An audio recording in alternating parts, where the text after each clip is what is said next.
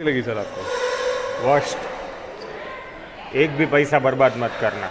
सो ही guys US में आज ब्रह्मास्त्र film को रिलीज़ कर दिया गया है। और वहाँ से ही ब्रह्मास्त्र फ़िल्म पर काफ़ी नेगेटिव कमेंट आ रहा है। कुछ लोग बोल रहे हैं कि भाई फ़िल्म में कोई मज़ा नहीं है। रणबीर कपूर कंफ्यूज लग रहे हैं। आलिया भट्ट की एक्टिंग बिल्कुल ही बेकार है। अमिताभ बच्चन ने अच्छी एक्टिंग की है। लेकिन उनका इस फ़िल्म में काफ़ी कम रोल दिखाया गया है। सो लोग इस फ़िल्म पर काफ़ी नेगेटिव कमेंट कर रहे हैं। क्योंकि लोग यूएस में फ़िल्म देखने तो जा रहे हैं। बट उनको फ़िल्म की स्टोरी ही बिल्कुल अच्छी नहीं लग रही है। अब दोस्तों बॉयकॉट की बात तो रही एक तरफ़। लेकिन अब बात आ गई है फ़िल्म की स्टोरी पर। नहीं बॉयकॉट के चलते भी कुछ लोग इंडिया में मूवी देखने जाते हैं। लेकिन अब यूएसए में साफ़ साफ़ लोग बोल रहे हैं कि फ़िल्म की स्टोरी बिल्कुल बेकार है अपने पैसे वेस्ट मत करना। अब उनके रिव्यू देखकर जो लोग टिकट बुक कर लिए वो तो देखने जाएँगे। लेकिन जिन्होंने बुक नहीं किया है वो अब बुक नहीं करेंगे और ये फ़िल्म देखने नहीं जाएँगे। क्योंकि यूएसए के लोग इस फ़िल्म पर काफ़ी नेगेटिव रिव्यू दे रहे हैं। तो अब ऐसे में अपने दो सौ कौन वेस्ट करेगा यार? लेकिन फिर भी कुछ लोग मेरी बात नहीं मानेंगे। और कल आपको पता होगा हमारे इंडिया में भी ये फ़िल्म रिलीज़ हो रही है। तो कल रिलीज़ होने के बाद पब्लिक के रिव्यू का वेट करेंगे। वैसे इंडिया में इसका बॉयकॉट तो हो ही रहा है। लेकिन इस फ़िल्म को जब हमारे इंडिया में ही स्क्रीनिंग के दौरान फ़िल्म क्रिटिक्स को दिखाया गया तो उन्होंने भी इस फ़िल्म को देखकर काफ़ी नेगेटिव रिव्यू दिए जिसका मैंने ऑलरेडी वीडियो बना रखा है, आप लोग जाकर देख सकते हो। सो खैर फ़िल्म क्रिटिक्स ने ब्रह्मास्त्र के रिव्यू को ट्विटर पर ट्वीट किया। सो अब उसमें भी कुछ लोग कमेंट करके बोल रहे हैं कि ये सब फेक है फ़िल्म रिलीज़ होने से पहले तुझे कैसे दिखाई वगैरह, ये सब। अब दोस्तों, क्या फेक है और क्या रियल है, इसका तो कल ही फ़िल्म रिलीज़ होने के बाद ही पता चलेगा। वैसे दोस्तों, आपकी क्या राय इस फ़िल्म के बारे में? कमेंट करके ज़रूर बताएँ। बाकी ऐसे ही फ़िल्मों के अपडेट और रिव्यू जानने के लिए चैनल को सब्सक्राइब कर दीजिए।